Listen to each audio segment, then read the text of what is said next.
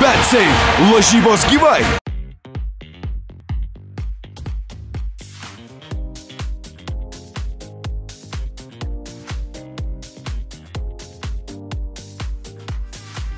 Tai visų pirma, noriu pasakyti, kad didžiuojas, kad, e, kad esu iškestas rinktinį ir tikrai yra malonumas, manau, kiekvienam žaidėjui būti iškestam rinktinį ir e, juolab, kad čia yra U21 rinktinė, tai tikrai labai smagu ir, e, ir tikrai kolektyvas geras, daug žaidėjų, su kuriais esu iš seniau žaidęs, kada žaidžiau Šilio akademijoje ir tikrai daug, daug žaidėjų, kuriuos pažįstu ir tikrai kolektyvas geras, o, o prie treniruočių, prie pačios rinktinės, tai realiai iš tikrųjų yra sunku persiprogramuoti į tą į tą Lietuvos futbolą, tai rinktinės futbolą, nes vis tiek užsienį visai kitoks tas futbolas, kaip bebūtų, ir, ir taktikos skiriasi, ir tos treniruotės vis tiek skiriasi, bet, sakau, tu esi futbolistas, tu turi vis tiek sugebėti persiprogramuoti, iš to užsienio futbolo į tą lietuvišką. Ir, ir galiu pasakyti, kad U21 gal man tiek, šiek tiek sunkiau yra, bet, bet tikrai viskas įmanoma ir su laiku manau, kad tikrai gausite trenerių pasitikėjimą ir daug dėjų tų žaidybinių minučių. Tai taip.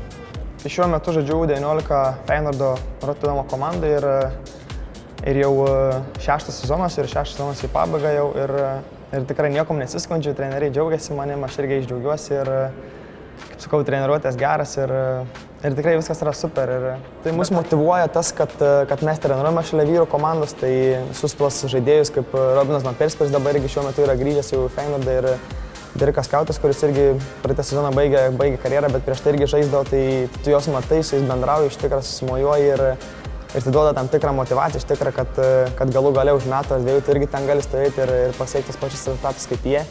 Ir, ir tas tikrai motivuoja.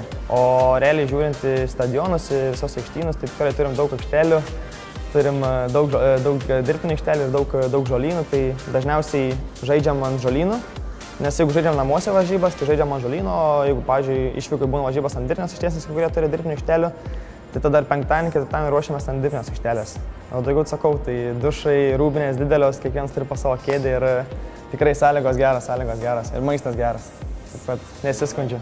Aš būtent lyginu dėl to, kad aš, pavyzdžiui, kai grįžtu rinktinę, tai va rinktinė iš tikrųjų pasimat, nes Nes rinktinį iš tikrųjų turim tikrai gerų žaidėjų, individualiai gerų žaidėjų, ir, bet mat, va tokie, sakau, va tokie pratimuose matosi, kad, kad kad nelabai tasme, atkreipiam dėmesį, su kuria koja reikia žaisti, kurią pusę reikia duoti, su kuria koja prisimti. Vat, O tokios smulkios detalės iš tikrųjų labai matosi, bet, bet kaip sakau, tai yra, gal ir skiriasi tas užsienis nuo tos Lietuvos iš tikrųjų. Tai, vat, bet iš tikrųjų realiai aš sakau, jau šeštas sezonas kaip ir, kaip ir baiginėjęs ir, ir tu kiekvieną sezoną jauties, kad tu kažkur esi pažengęs, ta prasme, nes man seniau, pamenu, kai aš tik tik atvažiavęs į Landiją, buvau, man buvo sunku prisimti kamuolį. Laiku bėgant tai ir iš tikrųjų tu mokinies, mokinies ir Ir dabar, kaip sakant, didelių problemų nebėra. Jie man irgi primena, kad esam žaidę su, su Žalgiriu ir ne vieną kartą. Ir jeigu neklystu, ar vienas vienas buvo atsiždė, dabar bijau pameluoti, bet ir nežinau prieš šiek metų, bet jiems dar primena, aš tikrai, nes dar turim pasikabinę, tokį, pas mus toks kabinetėlis yra, yra užkabinta ta vėliavėlė Žalgirio, tai tikrai smagu praeiti ir tada parodau, kad žiūrėkit, čia Lietuva ir čia Žalgiris. Tai, tai jo teko sužaisti, pamenu. Tai manau, kad kiekvienam Lietuvos žaidėjui yra galimybių